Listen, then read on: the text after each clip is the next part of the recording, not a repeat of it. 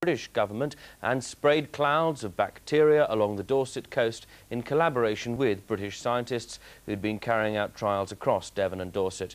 The news has been described as alarming by those campaigning for a public inquiry into the experiments. Our environment correspondent Simon Hall has this exclusive report. This latest disclosure about the germ warfare trials is proving one of the most controversial.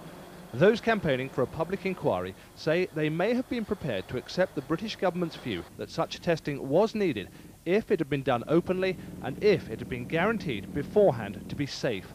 But to invite a foreign power to conduct tests and expose British citizens to them has caused considerable surprise and concern.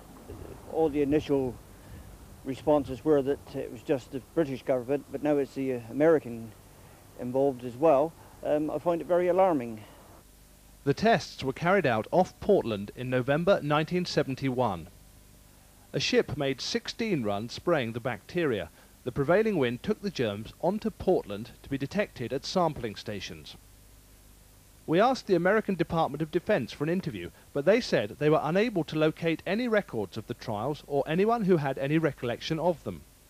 A British government statement said it was UK practice to share the results of its defensive research with its allies. It says the trials were safe. The documents relating to the American trials are some of the final ones of the series. They concern methods of detecting bacteria and show the research has moved on considerably from investigating the dispersal and concentration of bacteria clouds that was seen in earlier trials. The discovery of the American involvement in the trials here off Portland just about completes the picture of the germ warfare experiments. Two of the 30 or so documents remain secret, but I understand they relate mainly to technical matters and add little to what's already known. Historically speaking, the fact that the Americans came here demonstrates just how important the trials were seen as being, not just for Britain, but for the whole of NATO. For it was a time of great Cold War tension, and the fear of a biological attack from the Soviet Union was very real indeed. That may explain the historical context of the tests. It is, though, of little comfort to those who believe they may have caused them to become ill.